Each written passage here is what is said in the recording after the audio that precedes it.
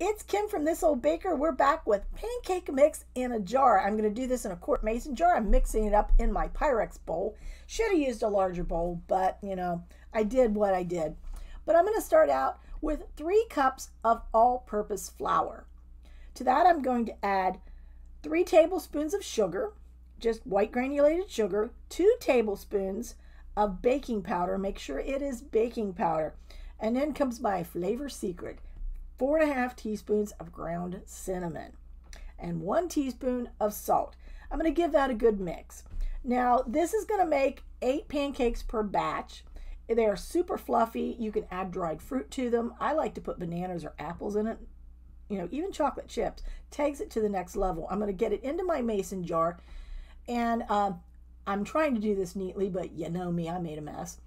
But once I get it in there, once I uh, have it ready, and I'm I can store this up to six months in a cool, dry place.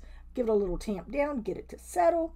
The directions on how to make your pancakes and how to restock your jar are going to be on the stickers that are available on our website, thisoldbaker.com.